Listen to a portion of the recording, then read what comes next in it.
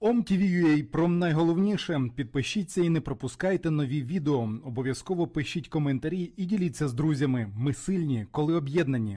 Ого! Елки-палки, уже 21 век, а мы-то все в 20-м. Может быть, подумайте о том, что, слушайте, ну у нас в советское это время вообще была статья за тунеядство.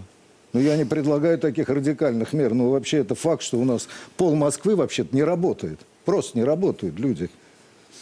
Ну, ребят, война идет вообще-то. Вообще-то идет война, но есть масса вещей, которые вообще надо принимать и принимать, в том числе достаточно жесткими мерами. Я много раз говорил, но я не могу смотреть, у нас по телевизору, по каналам идут картины, ладно, просто американские, но там изображены русские как бандиты и убийцы. Кем, собственно, они и являются. Это Получается, что только в американских фильмах можно услышать правду о современной России.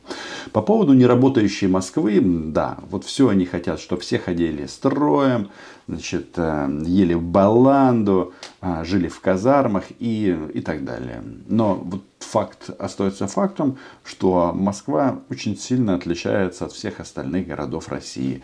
Вполне возможно, что Москва-Бат это не совсем Россия. Там у них отдельные правила, там даже не всегда законы Рамзана Ахматовича распространяются в полном объеме, как на другие российские территории. Но факт остается фактом. Видите, Москва слабо привлечена к труду. Она еще и к войне слабо при- привлечена. И россиянам надо об этом знать. То почему-то получается, что а, зарплата учителя в Москве 120 тысяч рублей, а в Бурятии 20 тысяч э, рублей.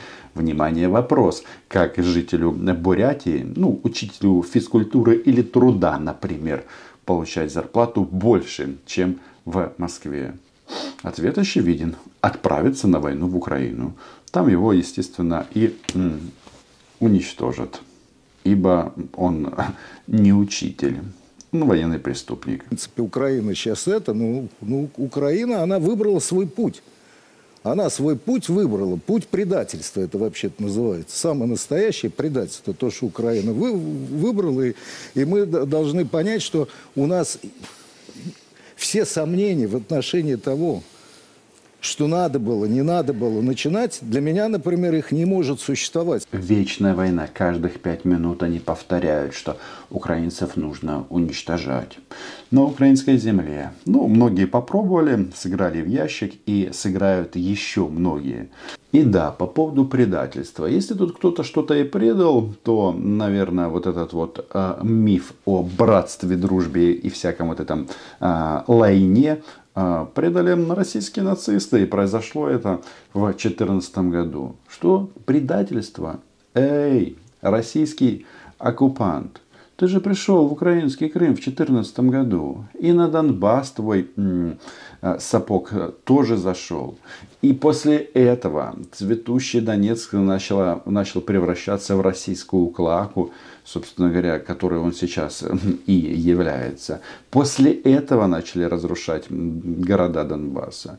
И если кто-то и ненавидит жителей востока Украины, восточных регионов, то это Кремль.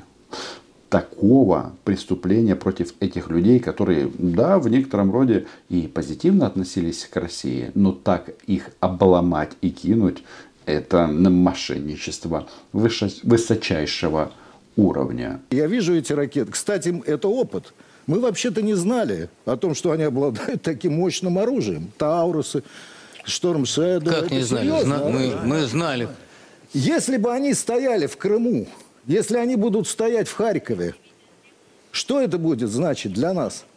Это для нас как приставленный пистолет к виску. Все. Поэтому и воюем. Вот, и вот что значит вступление в НАТО. Но об этом надо сказать тоже вообще людям. То есть, то есть правильно еще позиционировать то, что называется пропаганда политическая, понимаете? Потому что это важнейшее. Вот, вот я к этому, к этому эмпирически пришел. То есть а- абстрактно мы все знали, но сейчас-то я вижу, что это вообще страшное, смертельное. И надо сказать, они обладают им этим оружием.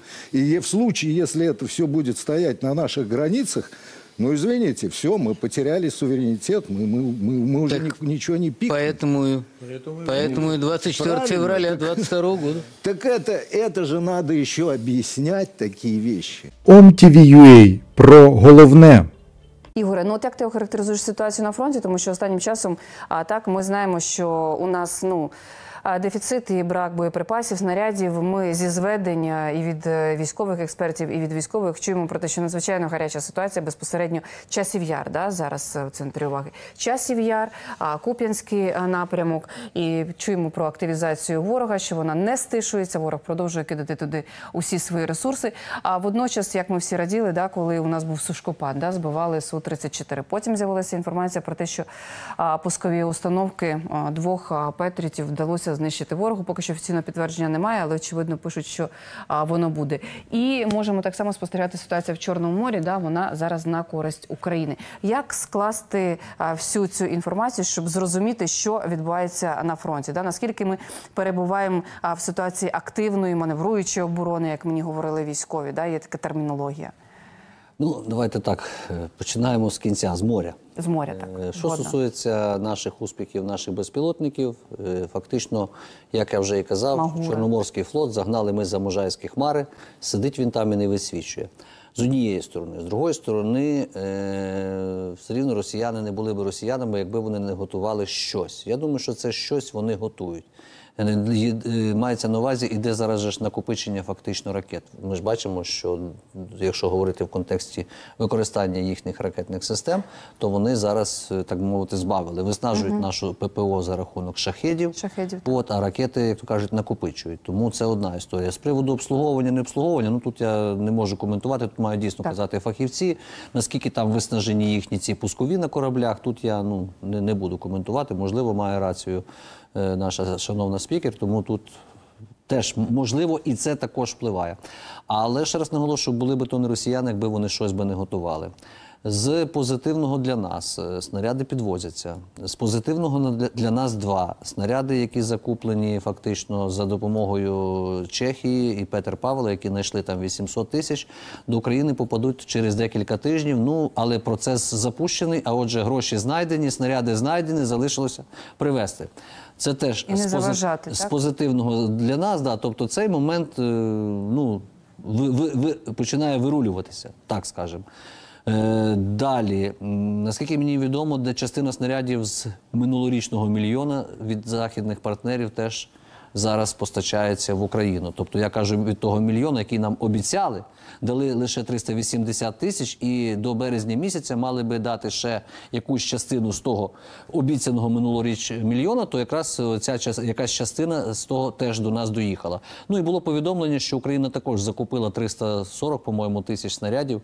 Це Повідомлення було в засобах масової інформації минулого року, тобто, що ми їх закупили. Ну, щось, щось, скажімо так, е, певні артилерійські підрозділи зараз якраз таки не скучають, а як то кажуть, бігають в милі, тому що є робота, і це нормально. Підпишіться на канал і не пропускайте нові відео. Пишіть коментарі і діліться з друзями. Ми також будемо вдячні за підтримку нашої роботи на Patreon або інших зручних платформах. Реквізити в описі до відео.